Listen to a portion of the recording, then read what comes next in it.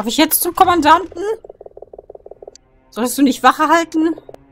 Ja, ich muss zum Kommandanten. Beziehungsweise ich brauche einen Stuhl. Was ist der Kommandant? Sieht der aus wie... Keine Ahnung. Warte mal, die...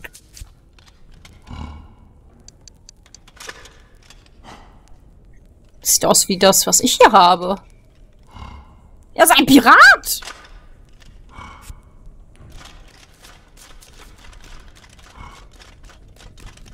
Lea?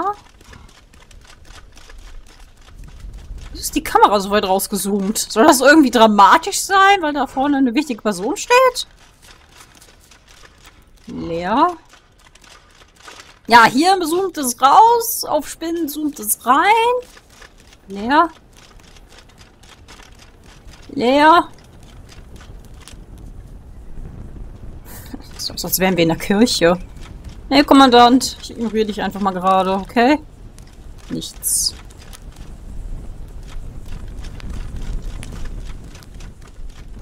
Ereignisprotokoll. Soldat Hart äh, zu zwei Tagen Verlies verurteilt wegen Missachtung der Kleidungsvorschriften im Burghof. Soldat Eingar, Schädel von Zugbrücke eingeschlagen. Äh, nach Versagen der Seilwinde. Mechanismus immer noch instabil. Soldat Gaff nach heruntergefallenen Fass im Zustand bleibender Verwirrung. Soldat Dottel wettete zwei Florinen, dass er über den Abgrund springen kann. Eine Bestattung findet morgen statt. Soldat Schree auf den unteren Ebenen von Spinnen getötet.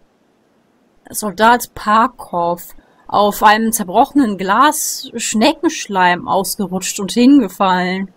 Soldat Schnurr betrunken im Dienst, eine Woche lang der schreienden Tür zugewiesen.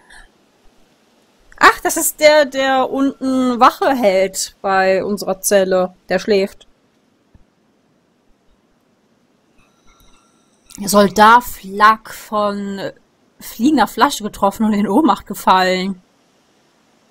Soldat Nils wegen Diebstahls offizieller Dokumente angeklagt, sitzt im Verlies in Gewahrsam.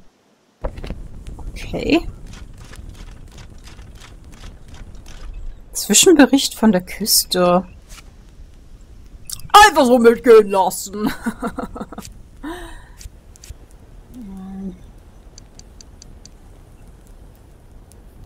Eine Liste von Küstenorten und äh, vom Status der dort stationierten Streitkräfte der Roten Pfote. Port Scan. Balatonisch, Balatonisches äh, Transportschiff gekapert. Das Schiff sank innerhalb der Hafenmauern.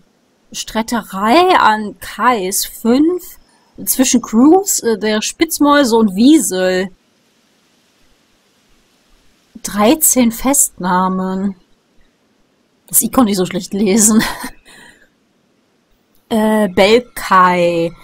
Kleinere Vorfälle von Diebstahl gemeldet, keine Festnahmen. Pirum. Pirumshafen. Kleinere Schmuggelaktivitäten gemeldet, zusätzliche Nachtpatrouillen empfohlen. Burg die Ruin. Alles ruhig, ja. So was jetzt, wo ich hier bin. Ob wir diese ganzen Orte auch besuchen können? Marten an der Treve, Quarantäne in Marten auf weitere 21 Tage verlängert. Äh, 19 neue Fälle von Lasa-Fieber gemeldet. Trummel. Patrouille meldet Verwüstung durch wilde Donnergraben in den Ruinen von Trummel. Letzte Einwohner haben endlich ihre Häuser verlassen. Panburg? Äh, Garnisonskommandant bestätigt Erfolg von Zusatztruppen aus Juva beim Niederschlagen von Aufwieglern. Garnison in Panburg äh, weiterhin auf höchster Alarmstufe.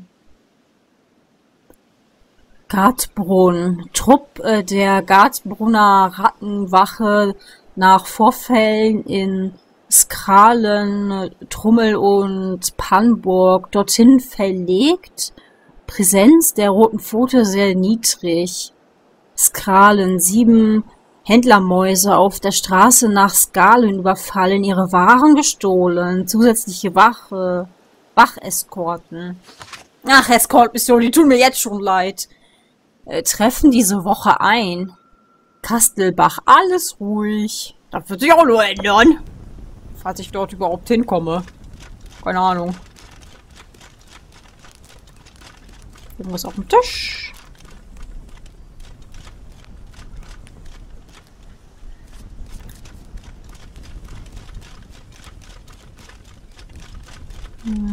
Pergamente. Hätten ja Stücke sein können, ne?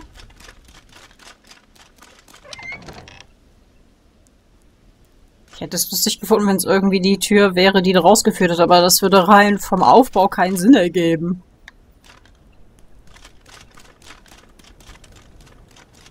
Ist das denn Bett oder? Nee, mit Sicherheit nicht. Eine Haarbürste. Oh. Schenke ich meiner Frau. Königliches Beinkleid. Kann ich mich auch noch als König verkleiden? Diese Kluft basiert auf den zeremoniellen Gewand von König Nor, dem großartigen legendären Kriegerkönig. Auf Tryptyka, die von seinem Leben erzählten, äh, trägt König Nor immer eine goldene Krone, einen langen weißen Bart, eine prächtige perlenbesetzte Tunika, ein königliches Beinkleid, ein elegantes Paar Strümpfe und Schuhe. ich kann mir als König ausgeben.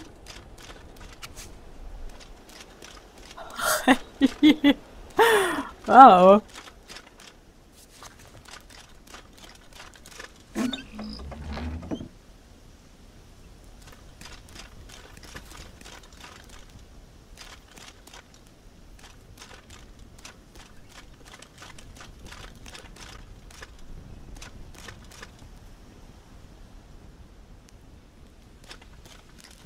Deine Wanne abgedeckt und da liegt ein Kopfkissen drauf und hinten fast mit Feder?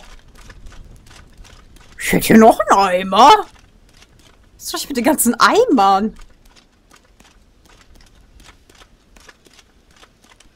Putzdienst, Chicken, Putzdienst. Ah, du hast nicht gerade einen großen Stuhl, wie ich es mir erhofft hatte. Aber wir können uns als königliche Hoheit ausgeben. Oh, da werde ich zu inspiriert, ein Lied auf der Harfe zu spielen. Ich habe gesagt, ich bin inspiriert, ein Lied auf der Harfe zu spielen. Schön, wie auf der Seite die Seiten einfach unsichtbar sind, aber hier sieht man sie. Also Gerrit konnte auf der Harfe spielen in einem der Thief 2 Level. War es nicht sogar das erste? Oder... Da gab es irgendein Musikzimmer. Äh, lass mich gerade mal überlegen. Oder war das ein Level, wo wir... Wo diese... Mechanischen Diener, nenne ich sie mal.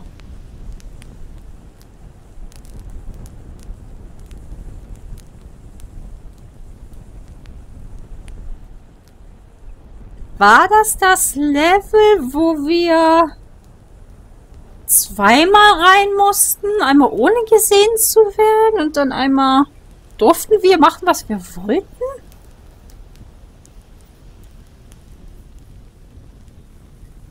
Ich weiß es nicht mehr. Kommandant! Ich melde mich zum Dienst. Aha, Recke nehme ich an. Soldat Recke meldet sich zur Stelle, Kommandant. Du bist äh, eher noch kleiner, als ich gehört habe. Nicht von großer Statur, aber großen Mut.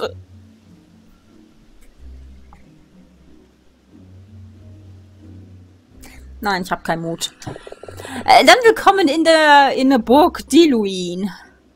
Heißt es nicht Burg Diruin, Kommandant? Oh nein, das ist ein weit äh, verbreiteter Irrtum, aber umgangssprachlich hier sehr beliebt. Es wird äh, dich interessieren, dass die Burg nach dem Helden Diluin benannt wurde, dem Helden des Krieges gegen die grüne Flamme und äh, was ich äh, mit Stolz sagen kann, einer meiner Vorfahren. Uh, bist also der Nachkomme des Helden. Väterlicherseits, ja. Es ist gar keine große Sache.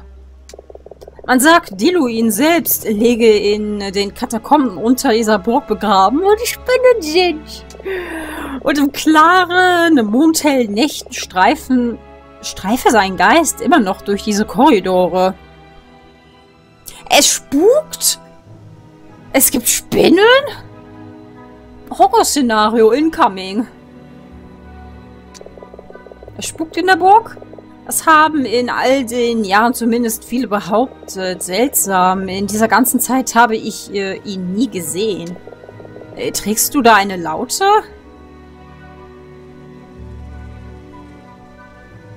Äh, ja, ist das ein Problem? Äh, kann ich sie mal sehen? Äh, pass aber auf, sie ist ziemlich zerbrechlich. Aber natürlich, das verstehe ich. Ich bin selbst so eine Art Musikant. Deswegen der Kragen um deinen Hals? Auch wenn er so aussieht wie ein bisschen der Kragen, den ich von meinem Piratenkostüm aber hey. Das habe ich mir gedacht, Herr Kommandant. Ja, bestimmt nicht wegen der Harfe. Oh! Ob wir vielleicht jetzt so ein Musikduett machen? Er auf der Harfe, ich auf der Laute? Und jetzt habe ich eine Aufgabe für dich. Äh, natürlich, Herr Kommandant. Stets zu Ihren Diensten. Tyrus Volker, unser Wärter, ist verschwunden. Seit dem letzten Blutmond hat sie niemand mehr gesehen oder von ihm gehört. Dann hat ihn wohl Hosine mitgenommen. Tetraprinz der Jagd. Man hat ihn in seiner, man hat in seiner Kammer ein Tagebuch gefunden. Darin wird beschrieben, wie eine Schmugglerbande aus dieser Burg heraus ihr Unwesen treibt, unter der Führung eines Schurken, den sie Meister nennen. Okay. Es stimmt, was hier steht, sind fünf Wachen dieser Garnison daran beteiligt. Ich will, dass du diese fünf Schmuggler auf die Schliche kommst, Recke. Finde heraus, was mit äh, dem Wärter ist. Und demaskiere diesen sogenannten Meister. Das ist ein diffizielles Unterfangen, Recke. Ich will, dass du dabei äußerst Diskretion walten lässt. Ja, ich schlage vor, dass du mit äh, deinen Ermittlungen in der Schmiede startest. Ich habe das Gefühl, dass der Schmied über beinahe alles Bescheid weiß, was hier so vor sich geht. Und was passiert, wenn ich scheitere? Dann lasse ich dir deinen Rang und äh, die Rüstung abnehmen und werfe dich ins Verlies.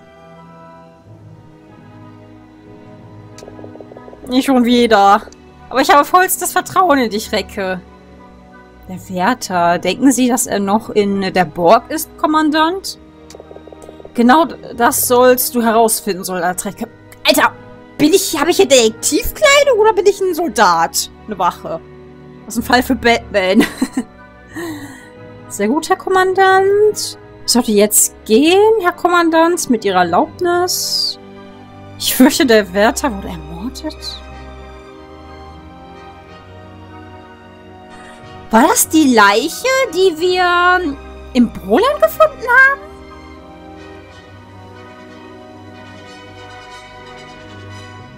Haben wir nicht auch irgend so ein hm, hm, hm, des Wärters gefunden? Ich weiß nicht mehr, wie dieser Gegenstand genau hieß. Was stand da nicht Wärter dran? Ermordet, bist du sicher? Ja, ich habe seine Leiche unten im Brunnen gefunden. Und du bist nicht auf die Idee gekommen, das zu erwähnen. Ich habe ihn doch gerade erst gefunden, als sie mich herbestellt haben. Welche Beweise hast du dafür? Äh, das hier, Herr Kommandant. Ich habe den Obolos, hieß das. Okay, des Wächters. Ist das ein Blut? Äh, danke, Recke. Äh, Herr Kommandant, soll ich meine Ermittlungen an in dieser Sache fortsetzen? Nein, nein, überlass das mir, Soldat. Du kannst gewiss sein, dass der Mörder seine gerechte Strafe findet. Nun, äh, danke für deine Hilfe in dieser Angelegenheit, Dreck. Ich äh, würde im Gegenzug gerne etwas für dich tun. Hm, kannst du vielleicht doch sie das runterschicken und nicht mich? Was hast du denn so gedacht? Nun, dann wollen wir mal sehen. Deine Rüstung, Recke, sie sitzt ganz schön schlecht, oder? Ich meine, äh, sieh dich nur an. Du kannst ja kaum darin laufen. Ich lasse sie vom Schmied etwas anpassen, wenn du willst. Etwas weniger Gewicht vielleicht. Äh, den Bauchreifen äh, kürzen und die Beinschienen anpassen, damit du dich besser darin bewegen kannst. Oh, und er sollte dich über die Fallen informieren, angesichts, angesichts der ganzen Probleme, die wir mit den Spinnen haben. Aber eins nach dem anderen. Hm, also... Der Kommandant greift zu Papier und Feder und äh, beginnt zu schreiben. Nachdem er seinen Namen unter darunter gesetzt hat, faltet er das Schriftstück zusammen und versiegelt es mit Wachs, bevor er es dir gibt. Gib das dem Schmied. Er wird wissen, was damit zu tun ist. Das klingt irgendwie vielleicht so, dass ich dann nicht nur im Runde schneller bin mit der Rüstung, vielleicht kann ich dann auch springen mit der Rüstung? Und generell schneller rennen?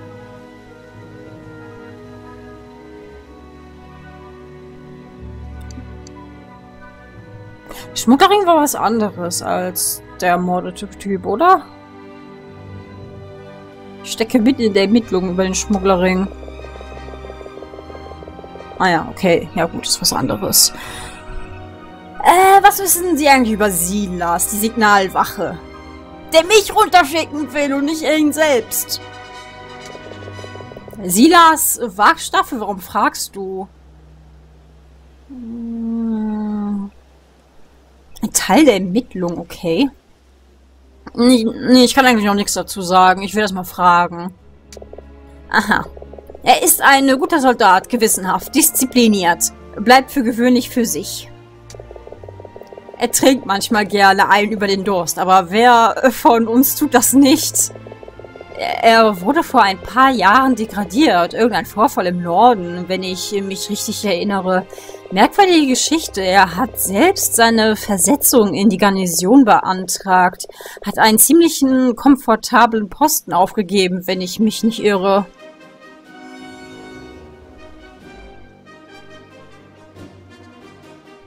Hm, klingt verdächtig.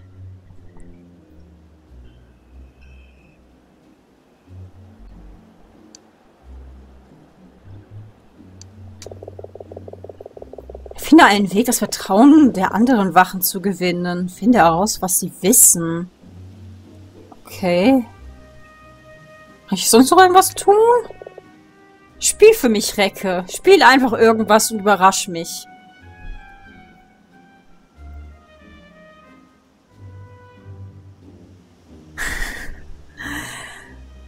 Wie hieß nochmal das Lied?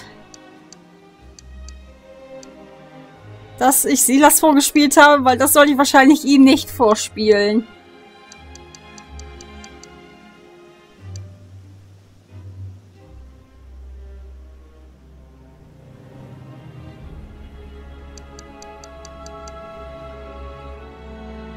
Die Ratte mit zwei Schwänzen. Oh komm, machen wir das einfach mal. Vielleicht kriegen wir irgendwas dafür. Guck, wie ich aussehe. Kaiserliche Galeone hielt Kurs auf äh, Jakort, die Königin der Dachse Ariane an Bord.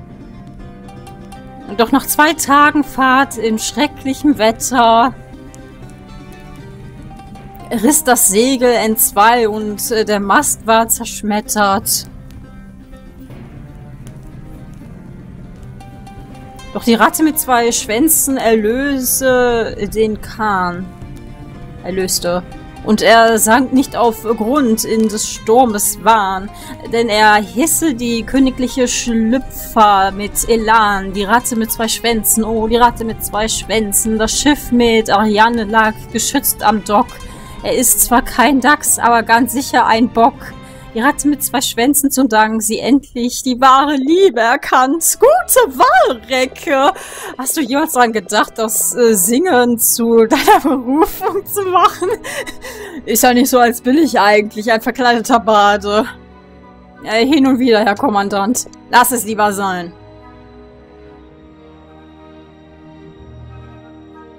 Okay, warum denn nicht?